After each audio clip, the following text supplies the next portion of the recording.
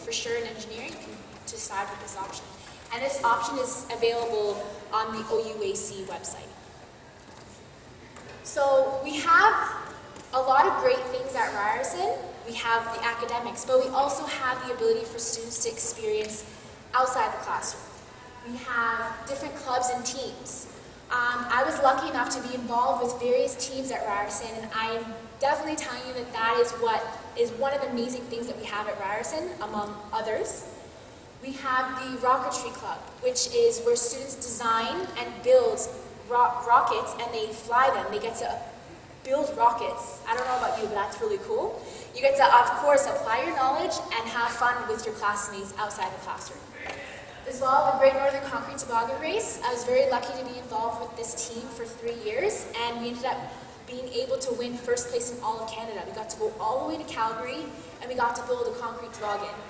It might sound silly, why concrete? But we're civil engineers, so we like concrete. We build um, the toboggan out of concrete. We Anything that touches the snow was concrete, so we had our skis, and we had different things as well. We designed the braking system. We designed the steering system. So it's all of those things involved in one project, and it's a lot of fun. We have the concrete canoe. How do you guys think canoe floats in water? Good? No? Well, we did it. We uh, ended up uh, replacing the rocks you see in the concrete with uh, crushed plastic, PVC plastic. So it made it lighter and it made it float and we raced it. Um, again, a lot of fun and you got to build a canoe.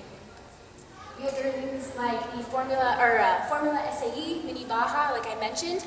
You're designing an off-roading vehicle to be as efficient, as fast as possible. Um, and it's a great opportunity for you to be involved outside the classroom. Uh, and it, being involved in these teams, speaking experience as a previous student and still a student, it's something that makes university a lot more pleasant. Obviously, you're going to have the academics. It's going to be stressful, but it's it's it's not stressful when you get involved in things. When you're able to just be like, okay, I'm going to be done with class, and I get to go and get involved with this, and then I get to go and study after. Like, it's a great opportunity for you guys, and I definitely encourage you to get involved with this kind of stuff when you come to Ryerson. So here's an example of the uh, Mini Baja. There's a student actually working on it right now. And uh, yeah, you can see that they're being involved in every stage um, in, with the design and construction. As well as we also have the popsicle stick bridge building competition.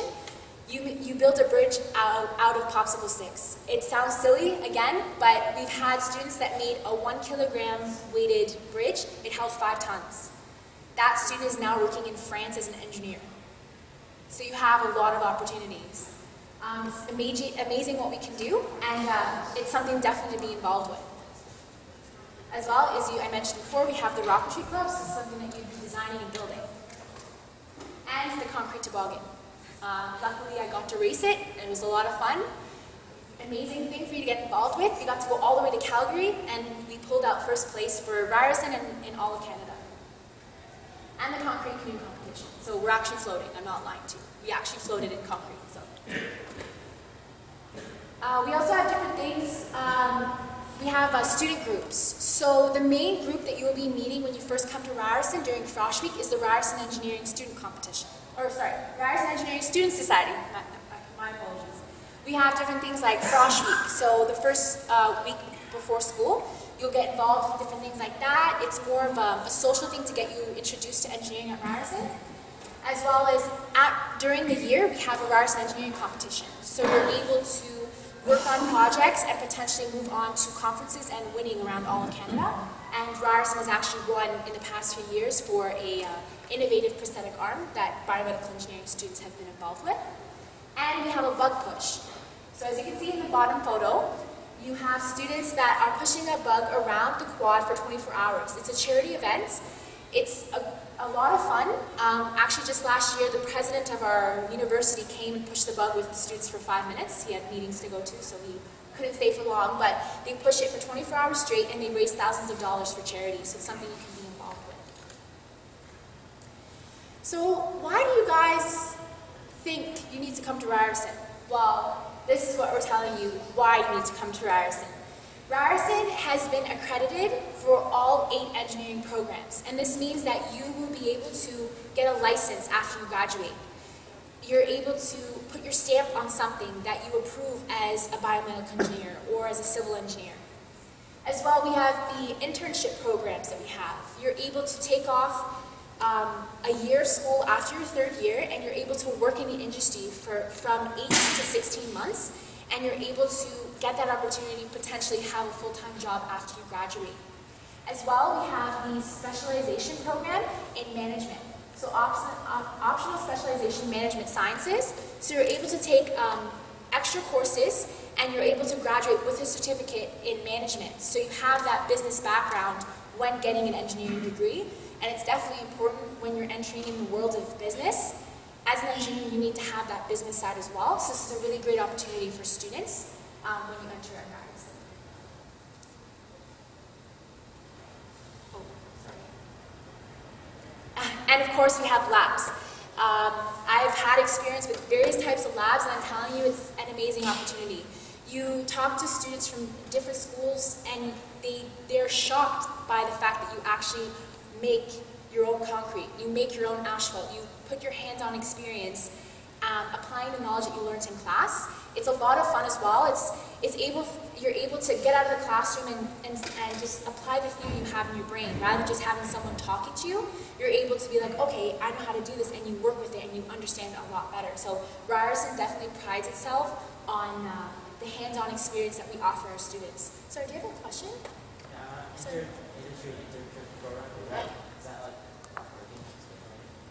Yeah, it's uh, yeah, it's co-op. It's it's uh, you're able to take off after your third year.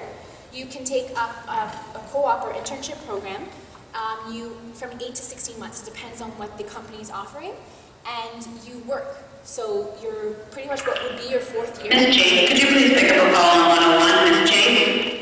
What would be your fourth year will become that term of uh, working, and then you come back after that term of working. So for eight to sixteen months and then you come back for your fourth year and you finish your degree. And it's a great opportunity because you're able to say, okay, so I worked with you for almost a year.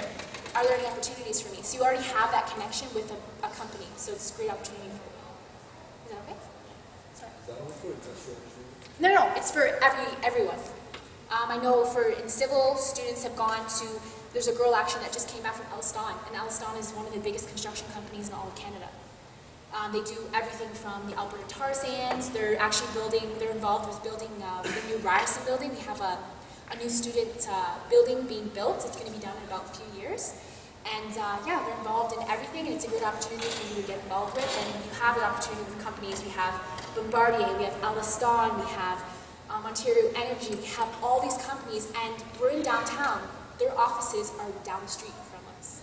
So you have that like central hub to have that experience um, as well. So this is the main important thing that you guys need to know is, of course, admission requirements. So the first and foremost, you need your OSSD. You need your Ontario Secondary School Diploma. So you need to graduate. And uh, a lot of, you think that it's a silly thing to mention, but a lot of students actually, there's a hiccup. For example, you forget to hand in your volunteer hours. Something so small, but that prevents you from getting your, your diploma. So make sure that everything is fine, that you have all the requirements to graduate as well. You, uh, you need uh, six uh, grade 12 U or M courses with a competitive overall average of 80% or plus.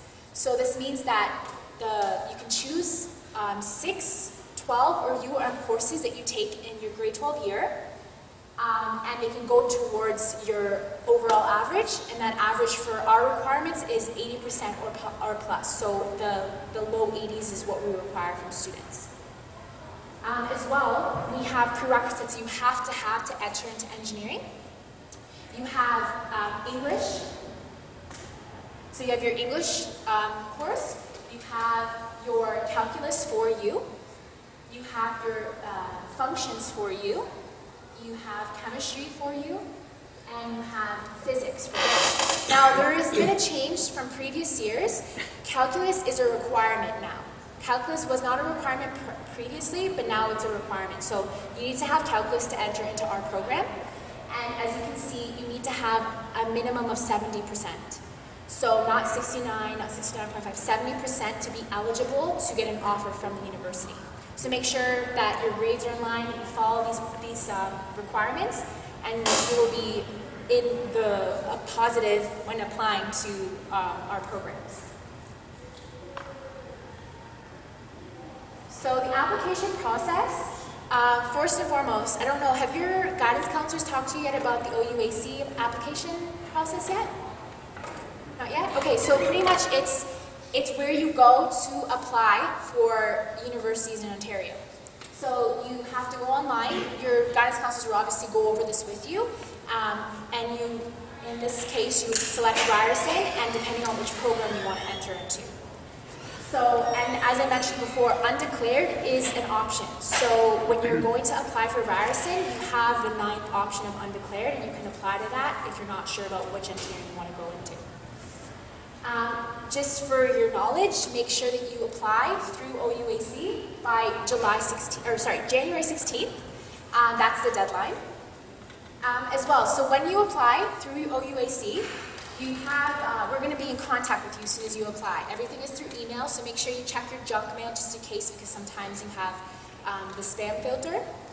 So you will be in contact with us once you apply, and then you'll be able to view your um, admissions through the Choose Ryerson portal, and this will be all relayed to you in an email once your uh, application has been um, acknowledged.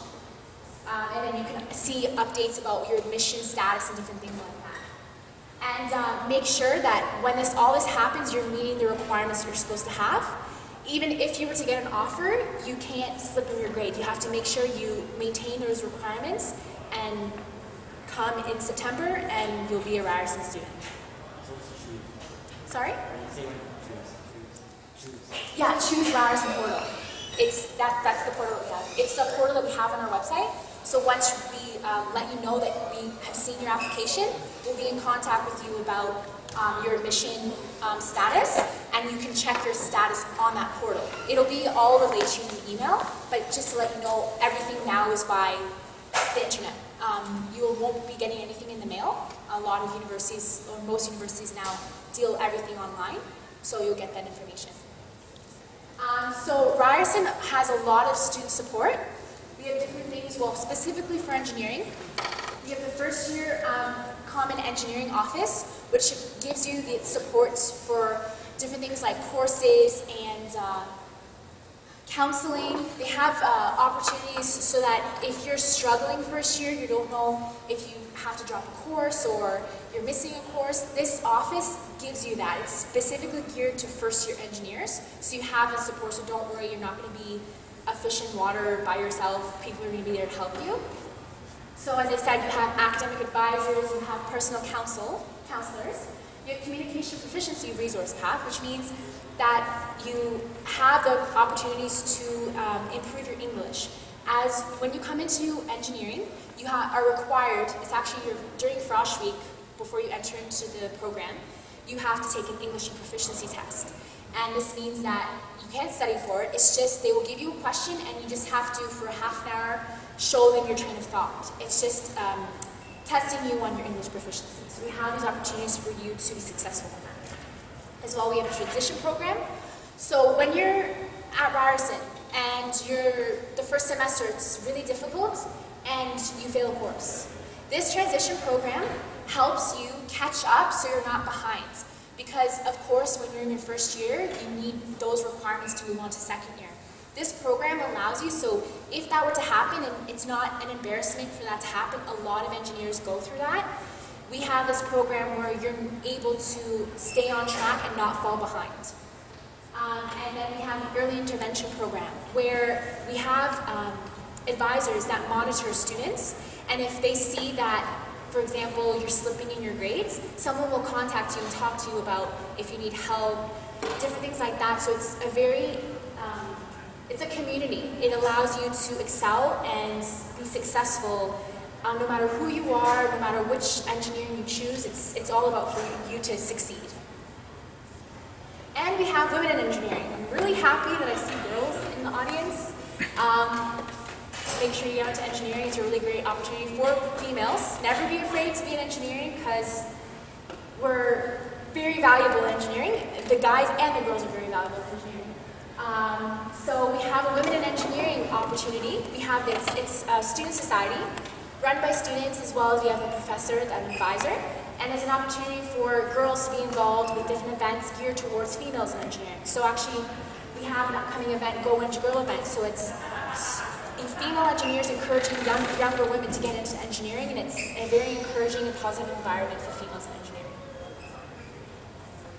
So uh, we have various uh, scholarships that you would be interested in. So as you can see in the chart, you have uh, your various averages that equates to different amounts of money you can get.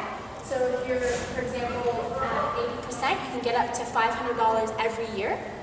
Um, but again, you have to renew this, so that grade has to be maintained when you get into university as well. And you get up to $16,000 overall, depending on your average. As well, we have engineering-specific awards, as you can see in the lower half, um, and they're for various um, different aspects. So some uh, awards deal with leadership and academics. Some award, uh, awards deal with certain grade points or certain financial need. So all of this is offered to you as, an, as a student going into engineering. Um, as well, if you have any more questions about awards, you can just go to our Ryerson website and search for awards and scholarships, and something like that. You can get more information about what you can get when you get into Ryerson. And we really encourage you guys to come to our campus. We have various uh, campus tours that we have from Monday to Friday, 10 a.m. and 1 p.m. We also have a Discover Ryerson event. So um, actually this upcoming November is our first Discover Ryerson event of the school year. Um, and it gives you the opportunity to go to um, the mechanical engineering group, uh, department, and go and ask a professor and students. We have that available to you at the school, and you're able to get more knowledge and to make a more educated decision on what you want to do. As well, we have various events, as I mentioned, the Go Eng Girl event. As well, um, just the past year, I don't know if any of you heard about the design on Dundas. Um, we invited various high school students to come to the Dundas Square where we showed what students have done in engineering with different projects that we've done. So those are amazing things that you can get involved with and, and hear about and it's an amazing opportunity for you guys. So even before coming into Ryerson, you have a lot of opportunity to experience engineering um, before you're an actual student. So please follow us. We have a Twitter and Facebook account. Um, just search us online. I know everyone has Facebook. Um, just search us online, ask questions, different things like that. See what we're up to. Our Ryerson page is continuously updating events that we're involved with. They have a lot of great pictures and great videos and stuff that you can see what we do. Um, yeah, so I really encourage you guys to come to the university, to talk to us now, have any questions, um, and just make sure that you know what we offer you. And um, we really hope that you guys are excited to come to Ryerson. And if you have any questions, ask us now, or email us, or call us at this number. And I really thank you for your attention. You guys are really great. And yeah, you guys any questions.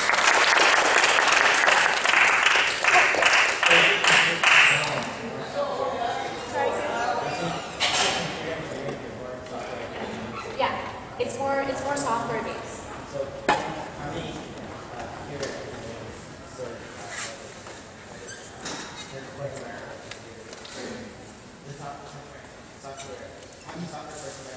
I'm not sure about specific courses. I know for first year you do programming. That's a, core element to um, computer engineering. You do the C C programming. Um, I'm not sure what specifics, but you do a lot of programming. You do different things. Um, you also can do digital systems.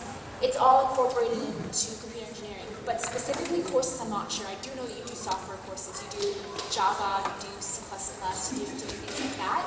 But for first year specifically, everyone does a programming course so that you get a taste of what you're going to be doing in computer engineering. Sorry. Hi. Hi. Uh, Just a clarification question on the admissions. Um, I think I know the answer, but I'll ask it anyway. If one of my prerequisite subjects is below 70, but my overall average is 86, 87, am I going to be considered? Uh, no, you have to meet all the requirements. Every single one? Yeah, so you have to have, in every prerequisites I mentioned, so physics, uh, chemistry, English, advanced functions, calculus, you have to have those five of them, and calculus specifically, make sure that you have calculus. They all have to be 70 plus. And then your overall average, again, your overall average does not have to include um, uh, your prerequisites. It can include your best six. um, U or M grade 12 courses though. So it doesn't have to include the prerequisites, but those prerequisites do have to be met at 70%. Is only for ours? Yeah, Ryerson, Only for nerd? I mean, engineering? Yeah. Is it for the other courses? this is just engineering. We can't speak uh, for any other university or um, program. It's just engineering at Ryerson. So just so you know, and it's all on those pamphlets that you guys have. So just to clarify, so you guys aren't confused or any information is misunderstood. What's, what's usually the acceptance average for civil? Um, for to expect for when you apply is 80%, low 80%, so 80 plus. Um, previous years it's been lower, but it's all dependent on the students coming in. So we expect that it's going to be 80 plus. So aim for low 80s. Obviously, you always want to aim higher. You never want to settle. So always aim for higher as much as you can. And yeah. Do You guys have any other questions? Okay, well, just, Thank- yeah, if you guys have any more questions, email us or call us. Thank you for listening. Thank you very much. Thank you. Yeah. Wait, lunch? Okay. Is lunch